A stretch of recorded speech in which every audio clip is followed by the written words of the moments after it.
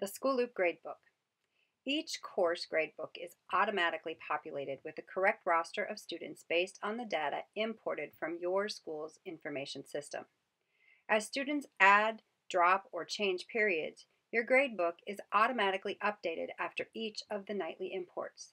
This means that you do not have to spend time entering student information and updating your rosters.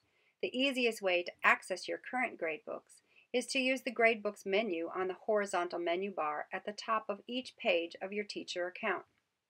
You can add assignments to your gradebook from your portal page as well as from inside the gradebook. Once you have created an assignment, it is automatically stored in your course archives forever, so you can find, copy, and edit it for future use.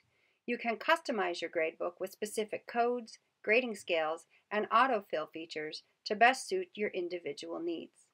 Exporting grades to the student information system from the School Loop gradebook is quick and easy, something every teacher should want to do.